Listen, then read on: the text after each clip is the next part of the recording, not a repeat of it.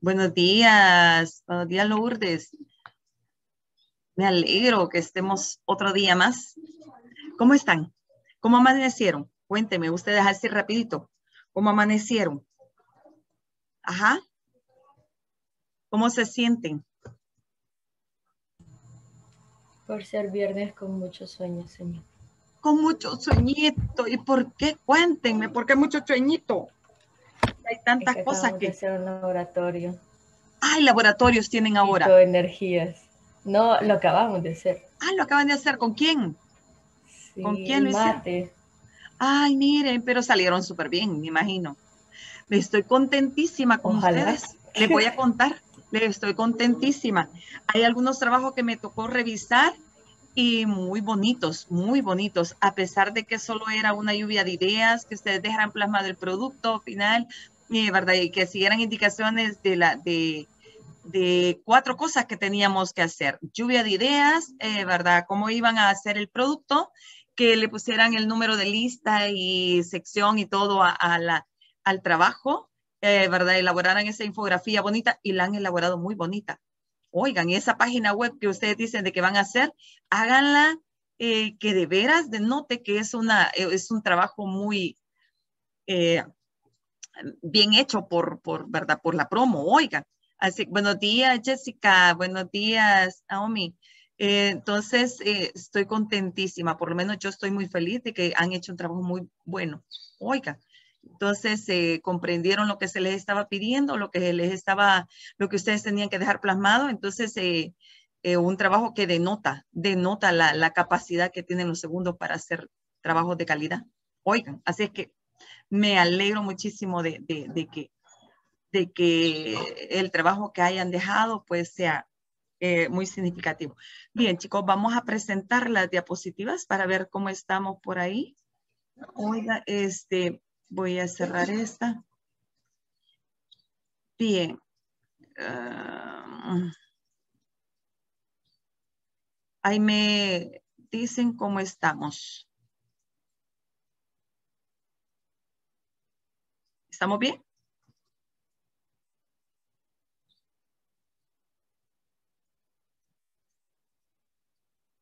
¿Se mira, hijos? Sí, señor, se mira. Excelente, excelente. Vaya. Vamos a, vamos a regresarnos un poquito por acá. Acuérdense que siempre me cuesta ah, que se muevan las diapositivas, pero no sé, voy a buscar alguna alternativa con los compañeros. ¿Qué es lo que está pasando con mis diapositivas? Oiga. Ah. me cuesta moverlas. ¿Sabían ustedes por qué? Me cuesta que se muevan para otro. Mm. Vaya. Se viene a mover cuando ella quiere ya. Bien, chicos, eh, vamos a... seguir. Así es que les decía, los felicitaba porque son, han hecho trabajos excelentes. Así es que espero que de aquí para allá, pues no vayamos en bajada, sino que vayamos bien, vayamos haciendo las cosas bien, bien, bien. Eh, ya saludamos, ya los saludamos, ¿verdad? Ustedes y yo. Eh, tenemos la reflexión, siempre seguimos con la empatía de esta semana, terminamos con este día con ello y a la otra pues seguimos con otro valor los contenidos, porque son dos contenidos que vamos a ver, indicadores de logro, dos, el desarrollo apartado de preguntas y respuestas que ustedes van a tener que completar una tabla. La tabla la completan cuando ya he subido yo a YouTube el video. Ahí lo ven, las veces que ustedes quieran, más despacio, y ahí lo completan, oigan, y el cierre. Eh, tenemos por acá ¿verdad? La reflexión. ¿Qué es la empatía? Pues esto lo habíamos tratado la vez pasada eh, y teníamos por ahí de que empatía era como ponernos en el corazón y en la mente del otro para sentir y hacer lo que la otra persona quiera. Pero vienen varias este, como conceptitos, ¿verdad? Vienen varios conceptos que forman parte de la, de la, eh, que tenemos nosotros por ahí, de que forman parte de la, de la empatía. Quiero que me ayuden a leerlo, chicos y chicas. Ayúdenme a leerlo por ahí. ¿Qué dice? ¿Qué es la empatía? Varios conceptos que vienen. Mire, dice conciencia, esfuerzo, ¿verdad? Eh, capacidad y destreza. Pero ¿qué es? Eh, leámoslo por ahí. Se mira. Chicos. Ajá. Que me ayuden. Sí, señor, señora. Uno o una. Yo, Que señor. lo lea. Jessica. No, Sí, vale, Jessica. hola. Que lo lea, pero que Sí. lo lea. Lo primero, la primera, Esfuerzo. conciencia. H. Conciencia de los sentimientos, necesidades y problemas de los demás. ¿Qué entendemos de eso? ¿Qué entendemos? Ajá. Ah, ah, que, que estamos que estamos conscientes que las demás personas también tienen problemas y necesidades.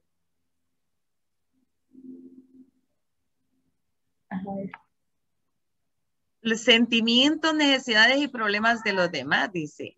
Ajá. Ajá, chicos.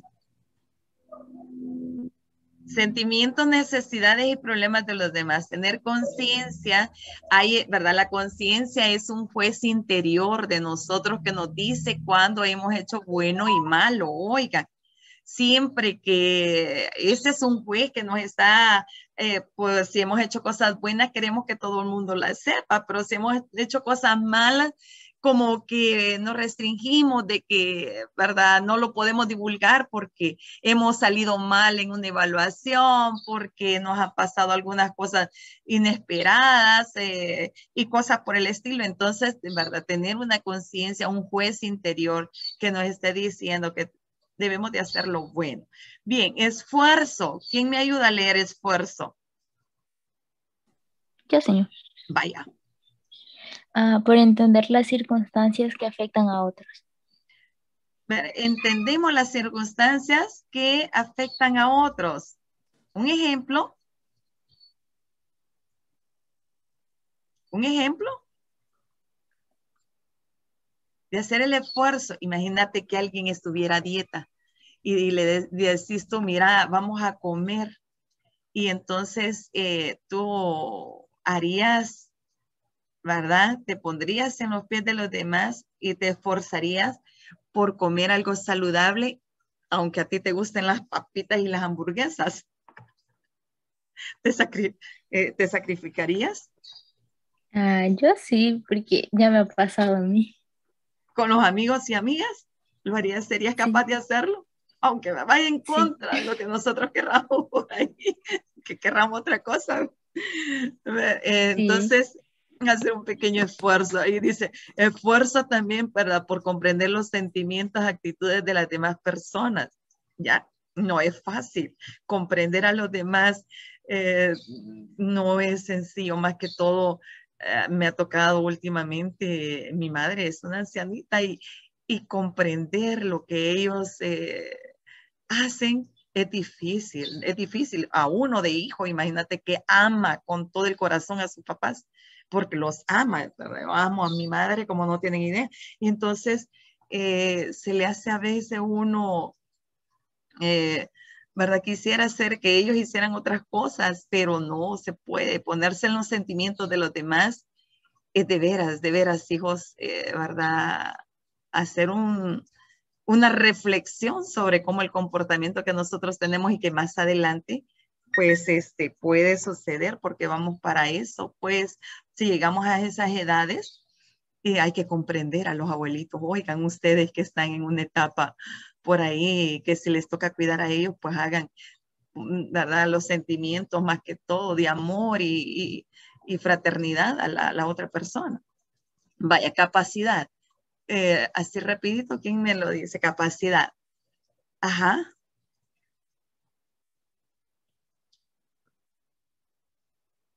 Capacidad. ¿Un voluntario, voluntaria? Yo, señor. Ya, señor.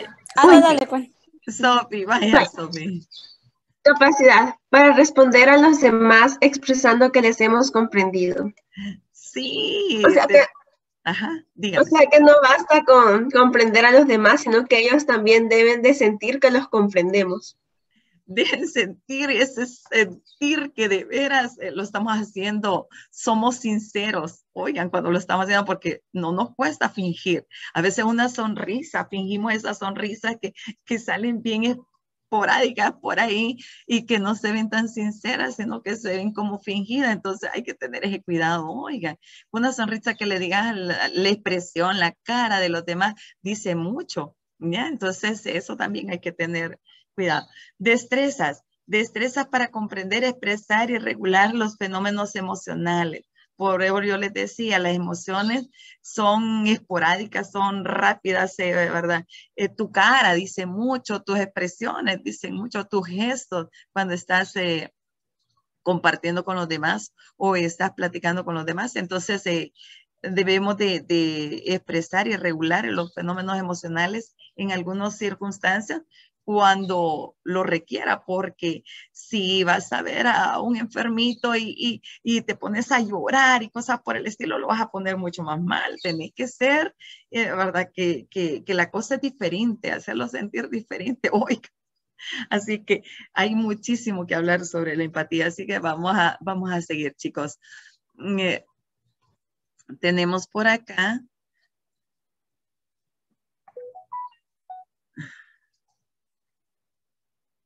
No sé por qué me cuesta pasar esto, hijos. Vale. Eh, principales avances científicos y tecnológicos y su impacto sobre la vida en el planeta. Esta es una continuación de lo que nosotros ya habíamos dicho anteriormente. Oiga, solo vamos a ver una, una partecita que nos hizo falta.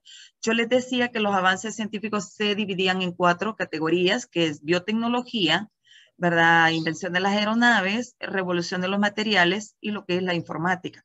Cuatro campos en los que la tecnología se ha visto y su impacto que ha tenido. Si ustedes se recuerdan por qué es un impacto, ¿verdad?, eh, sobre la vida y el planeta. Porque recordémonos que los trasplantes de órganos es una, un impacto positivo, pero un impacto negativo es toda la contaminación que nosotros provocamos en, en, el, en el, ambiente, en, en, otras palabras.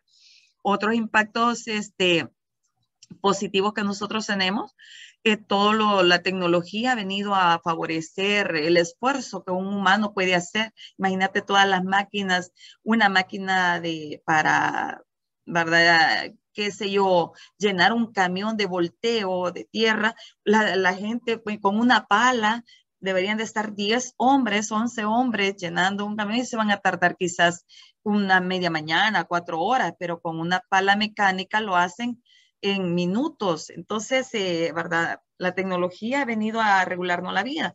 Otro es en los súperes cuando las puertas se abren y se cierran automáticamente, la automatización que no necesitan tener a una persona ahí para de que no esté abriendo y cerrando, porque también ahorita como están las cosas no se puede no se debe, ¿verdad?, de estar en, en, ese aspecto. Pero por otro lado, ha venido a sustituir la mano del hombre. Entonces, eso, quiera o no, hay menos trabajo. Pero les decía yo, los impactos tecnológicos, eh, ¿verdad? Hay muchas cosas positivas, pero también hay, hay cosas negativas que han pasado. Otra de las cosas que podría ser que usted me diga, mire, eh, con la construcción de un centro comercial, por un lado le dan trabajo a las personas, pero por el otro lado deben de deforestar para para construir porque no hay alternativa. Ay, mire, un paso a desnivel, qué bien, porque ¿verdad? minimizan los congestionamientos que se dan en todas las en toda la carreteras, pero por el otro lado, eh, tienen que abrir espacio y eso significa deforestar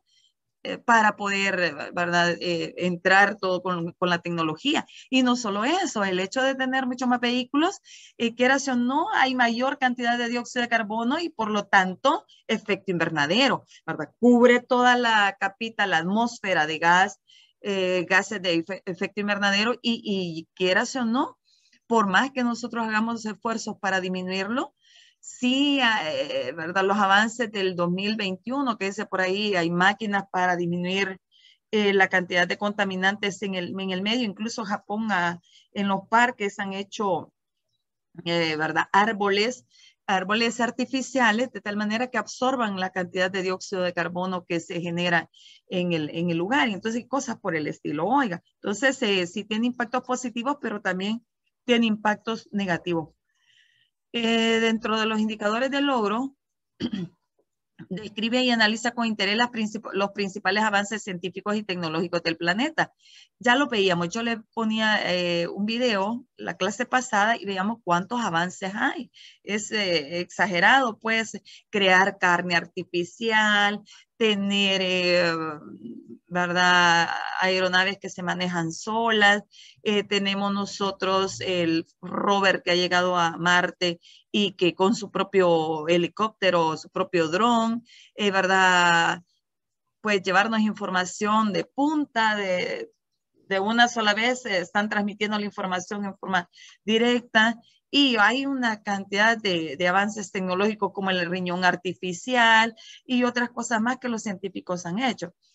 Indaga identifica con interés instituciones que utilizan, ¿verdad? acá en el país que nosotros eh, no la divulgan, es bien raro que se divulguen, que hacen investigaciones científicas en nuestro país. Se van a dar cuenta que sí hay, sí hay, pero es bien poco lo que sabemos de ello.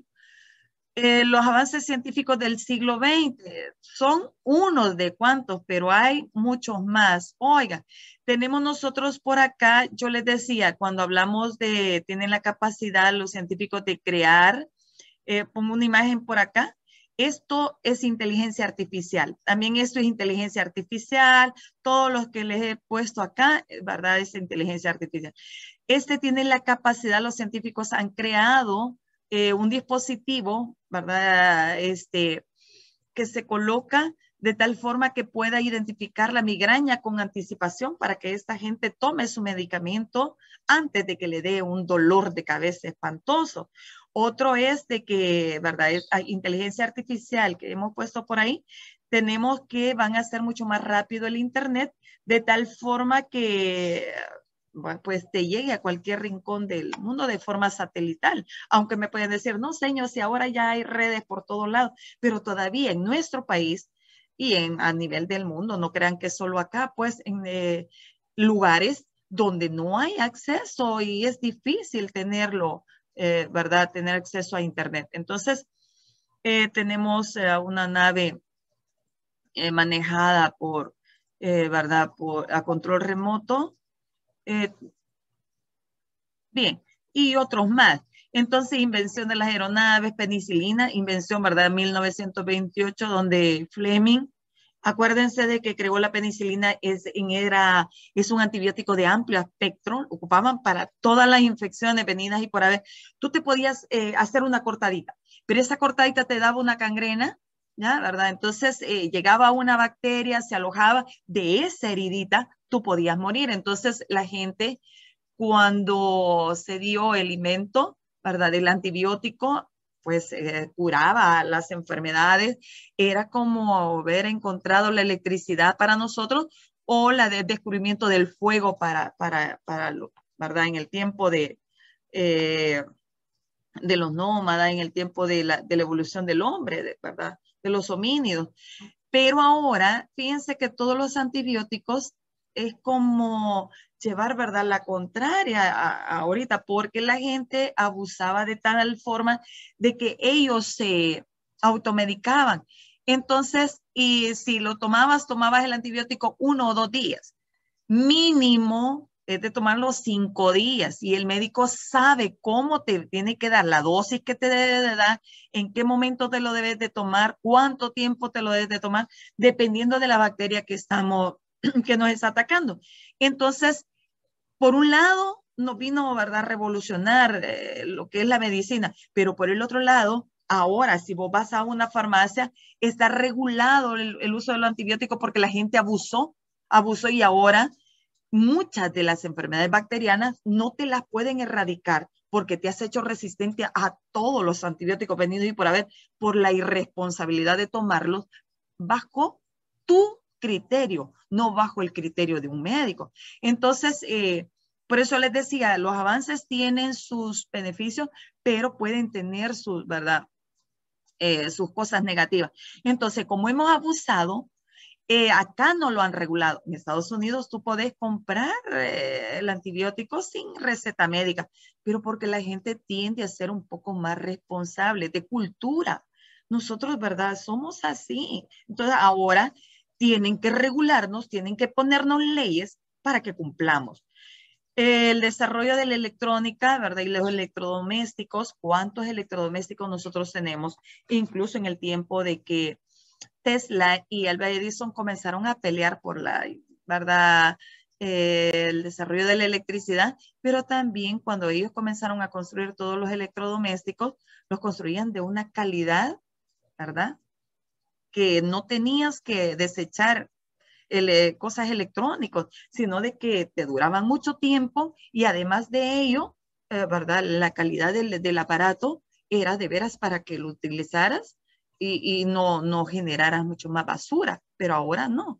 Entre, son baratos, pero a la larga sale caro porque hay que estarlos cambiando constantemente porque el repuesto, ¿verdad? A veces sale caro o porque la gente no quiere estar reparando porque le sale más barato botar el, eh, en los impresores. Si a ustedes les pasa eso. En los impresores, si ustedes se han fijado, eh, ¿verdad? Le sale más barato comprar el impresor que comprar la, tinta. Entonces, eh, y, qué es lo que estamos haciendo? Generando más basura, ¿verdad? Electrónica.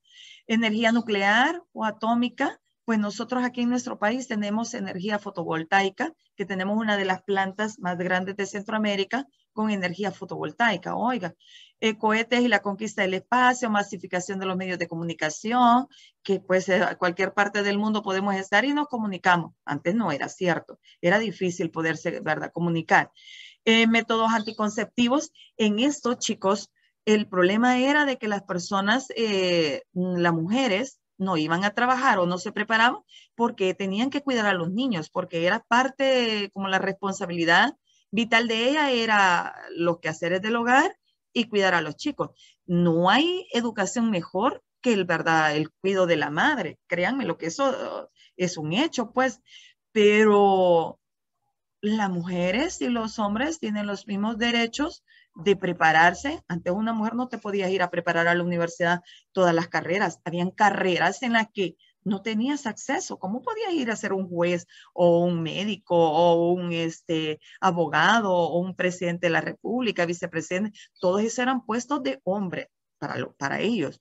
Pero la verdad es que se les ha, eh, eh, se ha comprobado que se tiene la misma capacidad. Incluso cada uno tiene sus propios... Eh, ¿qué les digo? Diferencias, sí, hay muchas diferencias entre el hombre y la mujer, pero tienen los mismos derechos. Oiga, entonces los métodos anticonceptivos vinieron como a no erradicar, pero como a prevenir algunas enfermedades como, ¿verdad? Enfermedades de transmisión sexual, ¿ya? Entonces, el uso de los preservativos, que aunque tengan una cantidad de poros que es eh, un riesgo, pero es el, ¿verdad? La gente que debería de haber abstinencia pero las personas que a pesar de lo que le dicen y de toda la información que le, que le mandan y no lo hacen, entonces, pues una de ellas es, eh, ¿verdad?, utilizar la utilización de, medio, de, de, métodos anticonceptivos. Oigan, le permitió a la mujer eh,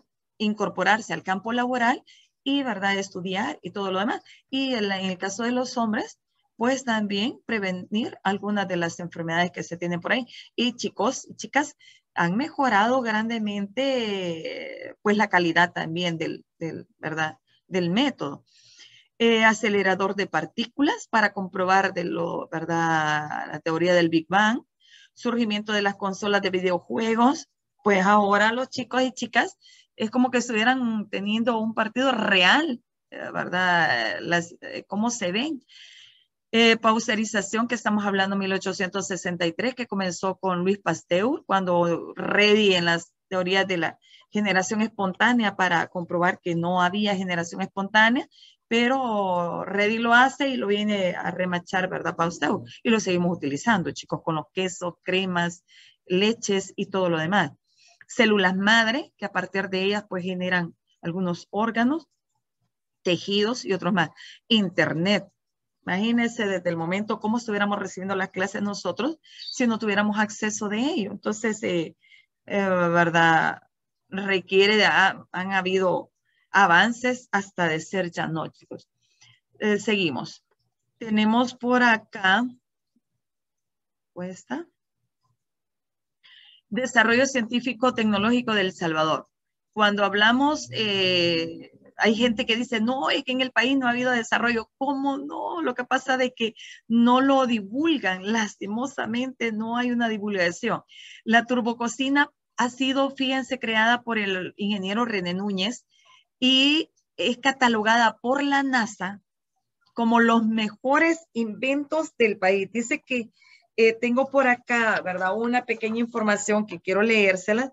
Dice que, eh, ¿verdad? El salvadoreño René Núñez con su invento catalogado por la NASA como la mejor cocina del mundo porque no contamina, chicos, no tira dióxido de carbono y, eh, ¿verdad? Trabaja con trocitos de leña y hace una combustión completa, no contamina el medio. Entonces, eh, ¿verdad? Es una cocina usada como una cocina tradicional, como una cocina antigua, pero que es de las cocinas más eficientes energéticamente y no solo eso, sino que, ¿verdad? Cero contaminación, dióxido de carbono no hay. Entonces, eh, eh, ¿verdad? No hay otra cocina que ocupe menos leña y no contamine. La trampa Brocap es, eh, por ahora les decía, perdón, esta es de acero inoxidable, es sumamente pequeña. Y fíjense que lastimoso, lastimoso, porque la patente se perdió. No se hizo acá porque requiere de que el presidente de la República, ¿verdad? Le ayude a las personas para patentar y pues darle la inteligencia a la, a la persona.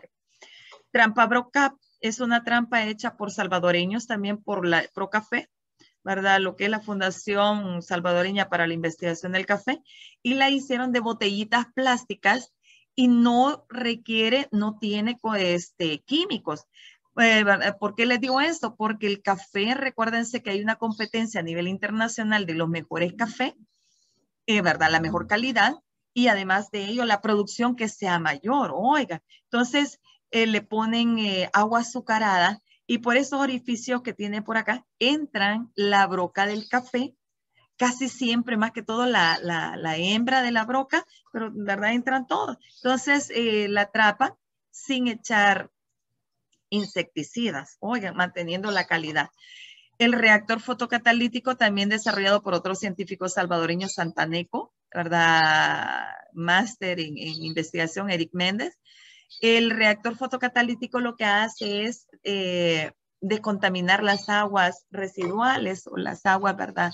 Sucias y, trabaja con energía solar. Entonces, eh, eh, está a escala pequeña. Cuando decían que iban a descontaminar el, agua, el, el río hacia el Guate, pues sí se podría hacer que cada casa, cada vivienda tuviera su propio reactor y, ¿verdad? Las aguas que se estuvieran desechando ya fueran a caer al río, pero fueran a caer en forma limpia porque cada persona tuviera su propio descontaminante. Oiga, este, el CRCTC, control remoto con telefonía celular, también desarrollado por un ingeniero de la Universidad Don Bosco, por la UDB, Francisco Méndez, lo que hace este es que todos los vehículos que llevan mercadería pues sean monitoreados por él y que cualquier cosa de que lo vayan a saltar, inmediatamente mande la señal a las computadoras que tú tenés en tu casa o en tu, en tu oficina y otras cosas más. Y no solo controla el robo de los ¿verdad? Mercadería en los vehículos, sino que también en las casas, porque puedes cerrar, ¿verdad? Cerrar puertas, este, encender luces y otras cosas más para controlar los robos de la, en las casas. Oigan, entonces hay muchísimos inventos, ¿se dan cuenta? Tenemos producción de software, programas, ¿verdad? Electrónicos o para notas. En el caso de nosotros, el ingeniero Luis Rivas creó un programa para poder meter las notas nosotros y desde casita lo estamos haciendo y es verdad, tiene días de estarte eh, utilizando. Entonces, eh, para también pueden hacer software para verdad automatización de alguna empresa que requiera de trabajo muy pesado para los hombres y que lo puedan hacer eh, en forma técnica. O tenemos eh, más que todo la, gente que sale de las universidades, los ingenieros en informática son los encargados de, de todo, todo ello. Máquinas para procesar basura, lo que hace es que convierte la basura en, ¿verdad? en combustible o en abono orgánico, oigan, para poderlo reutilizar, como dijéramos nosotros, estar utilizando compostaje. Conservación de la energía, lo que yo les decía, que tenemos una de las plantas este, de energía solar más grande de Centroamérica. Esta fue, ¿verdad? Dice que fue instalada recientemente en San Luis Talpa. Eh, tenemos municipio de Rosario de Mora, por ahí Rosario, de este, ¿verdad? En La Paz. Eh, produce 101 megavatios de energía fotovoltaica. Entonces tenemos una de las plantas generadoras de, ¿verdad? de energía limpia a nuestro país muy grande. Están aprovechando hasta el máximo toda la cantidad de sol que nosotros tenemos. Energía geotérmica, tenemos, ¿verdad? La geotérmica de Aguachapán, los soles de Aguachapán y Berlín, que es en, en Usulután. Entonces, se dan cuenta lo que pasa de que sí tenemos investigaciones científicas y hay mucho más, oiga, pero no, estas cosas deben de divulgarlas para que ustedes las, las conozcan, oiga. Eh, tenemos instituciones que realizan investigaciones científicas en el país. También quiero que las conozcan. Es necesario que sepan ustedes a quién pueden ir cuando necesitan hacer alguna investigación. Me alegra muchísimo, no tienen idea que la investigación que están haciendo los veo emocionados en la, en la infografía. Yo siento de que tienen emoción de hacer las cosas bien y generar, eh, ahí dicen en algunas páginas y otras cosas más, pero eh, como muy responsables del tema que están, que están llevando a cabo, porque es como, ¿verdad? Ver los tipos de nutrición y para qué me van a servir, cómo van a, a generar inmunidad en mi, en mi cuerpo. Entonces es muy interesante, súper interesante. Fíjense que de lo que ustedes están haciendo, podríamos sacar una revista científica solo de, verdad del, colegio para decir lo que ustedes hacen, porque pueden tomar como ejemplo eh, las investigaciones que otros han hecho, pero, ¿verdad? Ustedes eh, mencionar quiénes la han hecho y hacerla ustedes aquí al país, acomodada al ambiente de nosotros, oiga. Entonces, una de las instituciones es CONACYT. CONACYT, ¿verdad? Eh, lo que es el Consejo Nacional de Ciencia y Tecnología, una 1992, fue el que introdujo el Internet al país. Oigan, lo introdujo, ¿verdad? En la, en la UCA y en la Universidad Don Bosco. Y después ya se comenzó a, a tener a nivel nacional en las instituciones gubernamentales y posteriormente a todo lo que es la población, así como llega a nosotros. Señor. Eh, hace poquito, no hace mucho tiempo, dígame. ¿Y eso de en qué año eh, en qué año introdujo el internet al país? 1992. En ese año. Ese año fue el que, ¿verdad? Lo introdujo.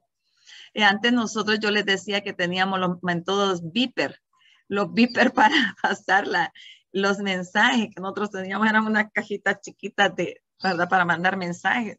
Entonces, eh, todavía no había internet. Yo traje una memoria, chicos, eh, una USB de Estados Unidos, que ni siquiera sabíamos para qué se utilizaba porque las máquinas no tenían entrada de USB adelante en la parte de enfrente, sino que en la parte de atrás, ¿verdad? Como que estábamos poniendo un cable, pero no sabíamos ni siquiera cuánto, eh, que se decía que era de almacenaje, sí, pero nunca la habíamos utilizado. Y era súper chiquita, era pequeña, un libro, pónganle que había un libro en la, en la USB. Entonces, eh, esto le estoy hablando por ahí, por 93, Eh, el CISES, el el Centro Nacional de Investigación Científica del Salvador. Fíjense que este está con la Universidad Nacional, con la educación superior. Todos los que hacen su tesis de graduación y todo lo demás, pues el CISE es el que se ayuda, eh, les, se encarga de ayudarles, ¿ya? Incluso a veces trabaja junto con el Ministerio de Educación, el MINED, que ahora se llama MINEDUCIT, ya por la que es ciencia y tecnología. Ha cambiado un poquito el nombre de él. Entonces, eh, trabaja con las universidades privadas. Algunas universidades privadas también piden ayuda de, del CISES, oigan, que es educación superior. Ajá. Y MINED, Ministerio de Educación, Fondo, ¿verdad? Con el FIES, que, con el Fondo de Investigación de Educación Superior, también lo, lo hace. Eh, el CENTA, fíjense que este está por calle a Santa Ana, está junto con la ENA, la Escuela Nacional de Agricultura, que es donde salen los ingenieros agrónomos o técnicos, ¿verdad? Que trabajan en el campo para darles asesoría a todas las personas que trabajan con ganado o trabajan con eh, ¿verdad? Forestales o, ¿verdad? Hortalizas u otras cosas más. El CENTA, Centro Nacional de Tecnología Agropecuaria y Verde y Forestal, lo que hace es contribuir para que los este, agricultores o los ganaderos, pero más que todo los ganaderos con el Ministerio de Agricultura y Ganadería, el MAG, que es otra de las instituciones que nos ayuda. Ese es más que todo para el sector este, forestal, ¿verdad? Eh, para lo que es el maicillo, el maíz, los frijoles, darle a las, a, las personas como híbridos, ¿verdad? Semilla híbrida para que mejoren su cosecha y le dan asesoría, por supuesto, para que qué tipo de suelo tiene, qué abono va a utilizar, cómo lo va a regar y le dan asesoría técnica para que la gente pueda hacer un producto, ¿verdad? O la producción sostenible y no solo eso, sino de que también eh, genere en el país ¿verdad? Pues eh, dinero, que estemos, seamos generadores de dinero, no seamos consumidores, oiga, solo consumidores. Entonces, el CENTA pues, ayuda en eso. El INCAFE, el Instituto Salvadoreño del Café, ¿verdad? Junto con ProCafé, que ayuda a mejorar todo lo que son este, la producción del café y que sea del café mejor para ganar la tasa de oro, que a veces ganan 50 mil, 25 mil dólares los productores de café, dependiendo del mejor café. Vienen catadores y ven el mejor café y son premiados, oigan, son premiados. Eh, tenemos que la Universidad Nacional del Salvador tiene varios laboratorios. La UES eh, tiene un laboratorio de toxinas marinas que lo que él hace es cuando la marea roja, que las eh, algas dinoflagelados, ¿verdad? Produce en la marea roja, entonces ellos hacen estudios todos los estudios que lo produjo, por qué se produjo, ¿verdad? Cuáles son los contaminantes que, que se dieron, este, cómo afecta, eh, si no, no se puede consumir. Entonces, eh, este, más que todo lo hacen los licenciados en, en biología, pero hoy está en la Universidad de El Salvador. El Laboratorio de Sistemas de Información y Sensores, ¿verdad? Remotos, pues el agente de informática de la UES pues lo, lo, lo, hace. Oiga, son laboratorios exclusivamente de la Universidad Nacional del Salvador. Instituto de Ciencia del Mar y Limnología, que es otro de los eh, aportes que nos hacen, ¿verdad? Con radares, por ahí andan viendo qué es lo que, cómo está para que la gente vaya a pescar o para que la gente, ¿verdad? Vamos a poner un proceso de veda porque están a punto de extinguirse los camarones o, los tipos de peces porque que los dejen crecer. Incluso regulan que la red que van a utilizar, que qué tamaño sea el, ¿verdad? El orificio de la red. Oigan, toda esa cosa. Eh, Centro de Investigación y Aplicaciones Nucleares, eh, todo lo que es la ionización que emanan las radiaciones cuando les ponen radioterapia a la gente de cáncer, más que todos los institutos de cáncer, eh, regulan que esta gente que se somete, los radiólogos, que están sometidos constantemente a radiaciones, cuánta es la ionización que esta gente puede soportar o que sí, ¿verdad? Cuánto es lo que tiene en su cuerpo. Hacen estudios de tal forma de que no se vean... Eh, que esta gente, ¿verdad?, tenga una protección, ¿ya? Aunque se protegen, por supuesto se protegen con chalecos de plomo, oigan, pero este, siempre están monitoreando. Eh, qué bien que lo hagan, porque imagínense cuánta gente, o que la gente no esté cerca donde hay radiaciones, eh, puede ser, ¿verdad? O cuánta ionización nosotros tenemos en un determinado medio. Entonces hacen estudios. Oiga, el laboratorio de entomología, en, esta, en este laboratorio incluso hay exalumnos de nosotros trabajando acá, eh, alumnos que han salido de la RUPE, laboratorios de entomología y de vectores, están trabajando con Sensalud. Uh, el gobierno de España, chicos, está ayudando a, a esta gente, ¿verdad? Porque están estudiando todo lo que son, este, uh, hay un convenio para estudiar la chinche tripanosoma, ¿verdad? Lo que es el achinche pasa un parásito que se llama tripanosoma cruzi, que da el mal del Chagas. Entonces, en salud, junto con lo que es el laboratorio de entomología, no tienen idea. En la Universidad de El Salvador tuve la oportunidad de ir a ver, eh, ¿verdad?, cómo ellos clasifican y todo eso. Y están buscando eh, controlar que la chinche no pasen la enfermedad con vegetales, están tratando de hojas, de un montón de árboles por ahí, eh, viendo de qué manera, pues, ¿verdad? Le ponen a las chinches y que ellas no, no contaminen, no nos contaminen, porque son altamente peligrosos. Cuando tenemos el mal del chaga, chicos, es, ¿verdad? Un mal del sueño que le llaman una muerte súbita y quedamos ahí dormiditos, ¿verdad? De un paro. Entonces, bien delicado. Oiga, sí tenemos investigaciones científicas. ¿Preguntas? ¿Preguntas, hijos? ¿Preguntas que tengan? Va, voy a terminar con esto. Sé que estamos contra el tiempo. Definición de conceptos, artículos científicos. Eh, tenemos nosotros este en nuestro país, sí lo tienen, muchas revistas científicas por ahí. Es un escrito, ¿verdad? Publicado por revistas especializadas que comunican de manera clara concisa y digna los resultados de una investigación. Lo hacen así, chiquitito. Para poder tener un artículo científico, nosotros hay principios que nos regulan. Oigan, que sea original, que sea con rigor científico, que sea concreto, que sea conciso, tenga precisión, ¿verdad? Este, con ética, veracidad y todo lo que requiere de un, de un escrito científico. Es un resumen, dos páginas o una página, es sumamente cortito. Y la revista científica es donde se publican todos los artículos científicos. Oigan, entonces es la publicación periódica de los artículos científicos, ¿ya? Entonces, eh, ¿verdad? Son aportes de gran relevancia. Y terminamos con las patentes. Así rapidito, una patente es un derecho que le da el gobierno de un país, ¿verdad? Al inventor de algo. Y los principales lugares donde se dan patentes son Japón, Estados Unidos, China, Corea, y la Unión Europea. ¿Qué te dice por ahí? Tipos de propiedad ¿verdad? intelectual de patentes. Tenemos patentes de derechos como una escritura artística, literatura, ¿verdad? Software y todo. Protege todo lo que una persona hace. Y patentes, eh, inventos, ¿verdad? Y los derechos de los inventos científicos que cada uno hace y las desmarcas, los logotipos que alguien tiene, protege, ¿verdad? Los lemas comerciales, los logotipos que tiene por ahí para que otro no se lo vaya a robar, ¿ya? Entonces, los discos y otras cosas más. Dígame, dígame, Guillermo. Ah, sí, señor, es que ya nos pasamos. Va, va. Eh, así es que muchísimas gracias, chicos. Eh, ¿Verdad? Fue un poco así. Y esta tablita, la que yo les decía que tienen que llenar, cuando ustedes ya vayan a ver el video, la llenan, oiga, cumplimentar la tabla con la información solicitada. Entonces, ustedes la hacen ahí, eh, ¿verdad? Ventajas y desventajas, solo para que tengan como una recopilación de la clase que hemos tenido este día. Así que mucho gusto, hijos. Gracias, oigan, gracias, pasen buen día, feliz día. Gracias, señor. Gracias a ustedes. Gracias, Gracias, señor. Gracias. Gracias, señor. Vaya, cuídense muchísimo. Cuídense. Gracias, señor. Cuídense. Ustedes también cuídense. Cuídense mucho.